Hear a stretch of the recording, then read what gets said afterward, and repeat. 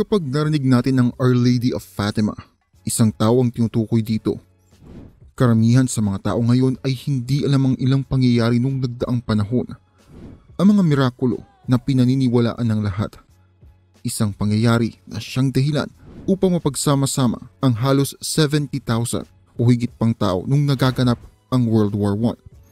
Isang pangyayari na naging dahilan upang makilala at mabago ang buhay ng tatlong bata. Isang pangyayari na tumatak sa isipan ng mga tao at hanggang ngayon ay pinag-uusapan ng iilang mga nakakaalam at nakakaalala. Balikan natin ang ilang pangyayari sa nakaraan at alamin kung ano at paano nangyari ang tinatawag ng mga tao na mirakulo.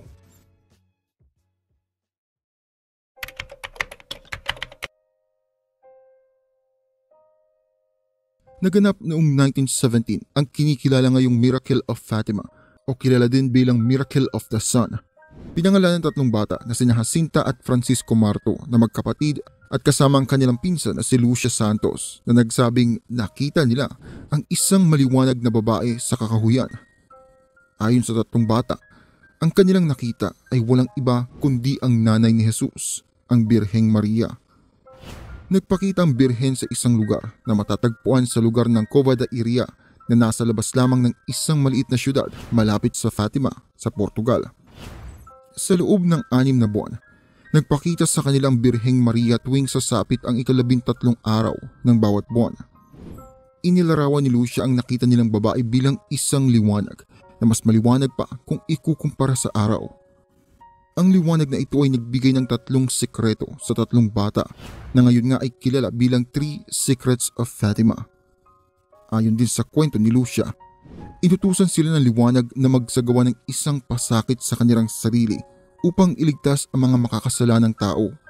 Ang mga bata ay naglagay ng isang napakahigpit na tali sa kanilang bewang at hindi uminom kahit na sobrang init ng panahon.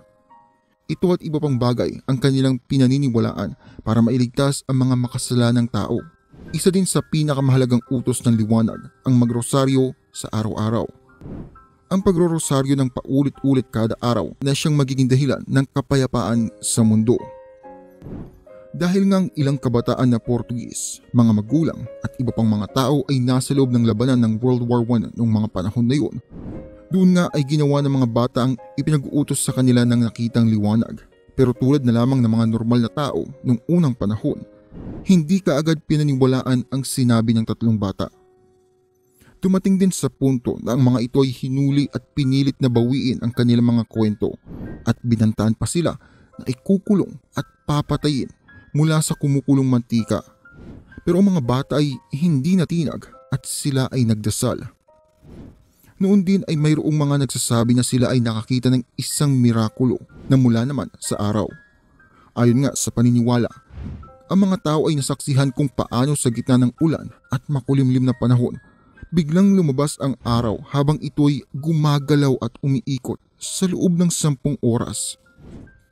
Dahil dito ay marami na din ang mga naniwala sa mga nakita at kwento ng tatlong bata. Noong Oktubre taong 1917, nagsama-sama ang halos isang daang libong katao, mga media, manunulat at ilang pang mga tao sa Cova de Iria upang masaksihan ang kinikilalang Miracle of the Sun. Pero bago pa man nila mailabas ang bawat sekreto, namatay si Francisco taong 1919 at sinundan naman ito ni Jacinta taong 1920. Bago pa man mamatay si Jacinta ay pinaniniwalaan na nagpakita pa sa bata ang Birheng Maria at ipinaalam sa kanya kung papaano siya mamamatay. Bago pa man mamatay ang bata, inilipat muna ito ng dalawang beses sa magkaibang ospital pero hindi ito magamot ng kahit sino man. Nagkaroon ito ng inflammation sa tissues ng kanyang baga at dibdib at pagkakaroon ng sakit sa puso.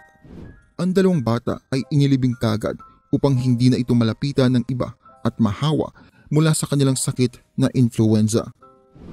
Noong hinukay ang katawan ni Jacinta taong 1935, hindi man lang ito naagnas at nakitaan ng kahit anong sira. Noon namang taong 1950, hinukay ang katawan ni Francisco. Nakita sa kanyang kamay ang isang rosaryo. Ang magkapatid ay kinilalang santo at binasbasan ni Pope John Paul II noong May 3, 2000 at kinilalang santo noong May 13, 2017 sa pangunguna naman ni Pope Francis. Ang dalawa ay namatay mula sa kumahalat na epidemya sa Europa noong taon na yon. Ito ang dahilan upang si Lucia na lamang ang makakapagsabi ng sekreto sa mga tao.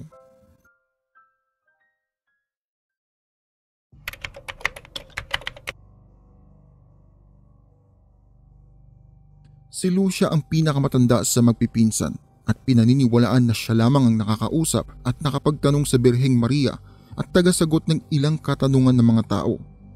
Mula noong namatay ang dalawang magkapatid, tanging si Lucia na lamang ang nakakaalam ng sekreto na sinabi sa kanila ng Birheng Maria. Si Lucia ay pumasok sa kumbento nung siya ay nasa labing walong taong gulang taong 1925 at sa panahon din na ito wala siyang inilibas na sekreto at impormasyon patungkol sa nalalaman niya. Taong 1929, habang si Lucia ay nasa kumbento ng Tuy sa Spain, nagkaroon muli ng isang pangitain si Lucia. Sa pagkakataon na ito, ipinaliwanag ng Birhen kay Lucia na siya ay nangako sa bayan ng Fatima ang pagpapakilala ng Russia sa kanyang Immaculate Heart. Matapos ang pagpapakita nito, Dalawang taon muli bago magpakita ang birhen kay Lucia. Si Lucia ay binigyan ng babala ng birhen na ang mga matataas na miyembro ng simbahan ay dadanas ng masamang parusa dahil sa hindi pagtupad ng kanyang utos. Pero si Lucia ay hindi pa rin binigyan ng pansin at pinagsawalang bahala lamang ito ng kanyang confessor na si Father Bernardo Goncalves. Kahit na ang mga nakaraang pangitain ay pinaniniwalaan at inaprubahan ng Vatican noon hindi sinunod ni Father Goncalves ang pakiusap na kanyang iminungkahi. Ilang ulit nagpadala si Lucia ng sulat para kay Father Goncalves pero hindi pa din ang sagot nito. Taong 1941, isinulat ni Lucia ang kanyang pangatlo at pang-apat na liham. Ang dalawang lihim na kanilang nalaman nung siya ay sampung taong gulang pa lamang. Ang unang sikreto ay patungkol sa impyerno. Ipinakita sa mga batang impyerno kung saan kanilang nakita ang nagbabagang dagat ng apoy at ang mga kaluluwang nakalubog dito. Ang pangalawang pangitain naman ay patungkol sa pagsunod sa Diyos. Dito ay ipinaliwanag ni Lucia kung ang mga tao ay hindi tumigil sa pangungutya sa Diyos. Ang World War II ay magaganap sa lalong madaling panahon. Ipinaliwanag din ni Lucia sa kanyang sulat ang parusa sa pagpatay ng mga Santo Papa at maging iba pang pari.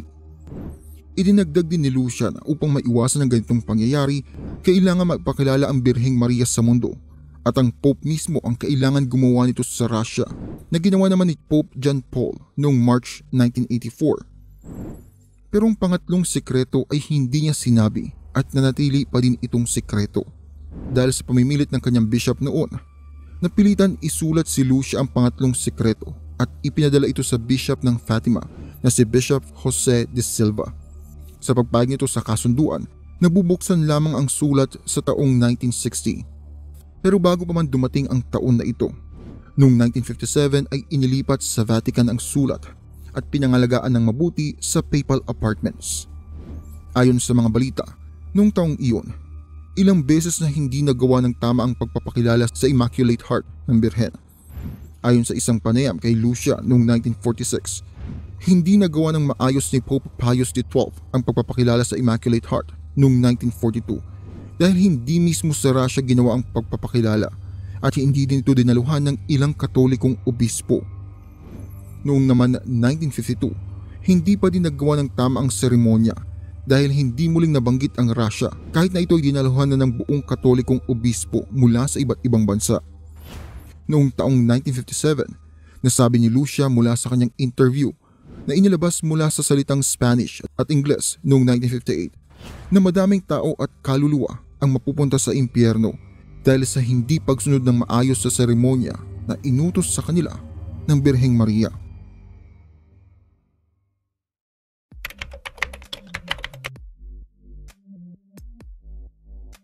Pero ano nga bang pangatlong sekreto na ito? Bakit kailangan pang buksan sa taong 1960 sa taong 1960, inaasahan ang pagbubukas ng pangatlong sikreto sa mamamayan. Pero milyong-milyong katao ang nadismaya dahil sa ginawang desisyon ng Vatican. Ang pagpapatupad na hindi kailanman dapat pang malaman ng publiko ang pangatlong sikreto. Hindi ito binuksan hanggang taong 2000. Taong 1959, bago pa mabuksan ang sulat, ipinadala ni Father Pierre Paul Philip ang liham mula kay Fatima upang ito'y mabasa ng Pope noon na si Pope John 22nd. Nung mabasa ito ng Pope, ang kanya lang sinabi ay kailangan nilang maghintay, magdasal hanggang sa panahon na alam na niya ang gagawin. Dahil dito ay hindi inilabas sa mamamayan ang pangatlong sikreto at ibinalik ito kung saan ito nakalagay at mabuting iningatan. Taong 1965, binasa ng panibagong Pope na si Pope Paul VI ang sulat at kung ano ang nakalagay dito. Nung mabasa niya ito, napagdesisyonan din ng Pope na huwag ilabas kung ano man ang laman ng liham. Pero nung panahon din na iyon, hindi pa nagagawa ng Vatican ang pagpapakilala ng Immaculate Heart ng Birheng Maria sa Russia. Noong hindi inilabas ng Vatican ang pangatlong sikreto, madaming mga media at reporter ang pumunta kay Lucia upang siya ay kausapin.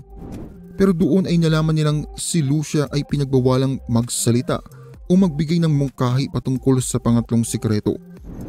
Matibay ding ipinagbawal kay Lucia na tumanggap ng kahit sinong bisita maliban sa pamilya at sa ilang matalik na kakilala. Noon din ay hindi pinayagan na makipagkita kay Lucia ang kanyang confessor na si Father Jose da Silva dahil na din sa pagsunod ni Lucia sa pinag-uutos sa kanya na natiling tago at, at tikom ang bibig na natitirang tao na nakakita ng pangatlong sikreto. Ilang mga kwento at balita na din lumabas at kumalat sa iba't ibang lugar patungkol sa buhay at sa pagpapatupad ng pagpapakilala ng Immaculate Heart sa Russia. Dahil dito, Maraming mga katoliko ang pumirma sa isang petisyon na nagsasabing dapat nang gawin ng Pope ang inuutos ng Birheng Maria. Dito ay pinuntahan ni Pope Paul VI si Lucia sa Fatima upang kausapin. Pero walang pagpapatupad ang napagkasunduan ng dalawa.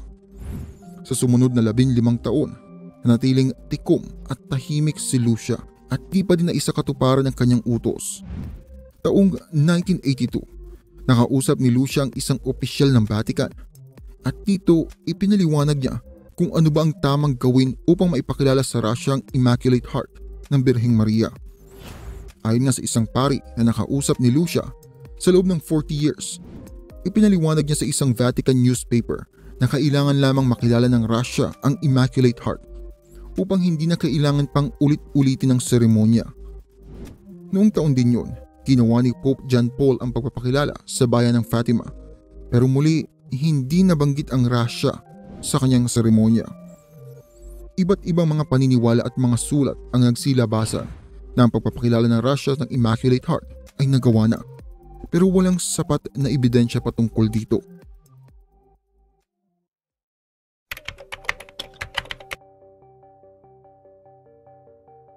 May 13, 1981 habang si Pope John Paul II ay nakatayo sa isang open car na siya nakaparada sa St. Peter's Square. Ito na ang pagkakataon upang ipaalam sa mamamayan kung ano bang pangatlong sekreto. Habang ito ay binabas niya ng malakas sa harap ng 10,000 tao, isang putok ng baril ang narinig at doon din ay nakitang duguan ang Santo Papa. Nabaril ang Pope ng halos apat na beses dahilan upang mag-agaw buhay ito nung makarating sa Gemelli Hospital. Matapos gumaling ng Pope, ipinakuha niya kagad ang pangatlong sekreto noong July 18, 1981. Matapos itong basahin ng Pope, naniniwala siyang ang pangatlong sekreto ay para sa kanya. Pero ano nga ba ang nakalagay sa pangatlong sekreto? Ito ay pangitain patungkol sa pagpatay ng maaring relihiyosong tao, isang pari o hindi naman ay isang miyembro ng simbahan, isang pope na nakasuot ng puting damit. Pinaniniwalaan na ang mensahe na ito ay para sa mga simbahan na dumanas ng masasamang pangyayari noong 20th century sa kamay ng mga komunistang tao. Para kay Pope John Paul II ang mensahe na ito. Hindi man siya namatay, naniniwala ito na siya ay niligtas ng Birheng Maria mula sa bingit ng kanyang kamatayan. Noong June 26, 2000, Inilabas niya mismo sa publiko ang sulat ni Lucia patungkol sa pangatlong sikreto. Pero doon din ay lumabas ang iba't ibang mga espekulasyon na ang nabanggit na sikreto ay hindi naman talaga ang sikreto na ibinigay ni Lucia nung siya ay bata pa. Ayon kay Ratzinger na isang kardinal, Ang dahilan ay upang lubos pang maintindihan ng mga tao ang, ang pinaniniwalaan na sikreto. Hindi ito inilabas upang ang mga tao ay hindi matakot patungkol sa kanilang paniniwala at sa kanilang pananampalataya. Dahil nga ang pangatlong sikreto ay patungkol sa panganib dahil sa pananampalataya at buhay ng isang Kristiyano at sa buong mundo. Ito ang dahilan kung bakit nga itinago ang pangatlong sikreto. Noon ngang binisita si Lucia ni Cardinal Ottaviani noong 1955 upang tanungin kung bakit sa 1960 pa dapat buksan ang liham ang tanging sagot ni Lucia ay, quote, Because then, it will become clearer. End quote. Dahil sa statement ni Lucia na ito, maraming naniniwala na hindi ang pagpapatay sa taong kristyano o pari ang pangatlong sikreto.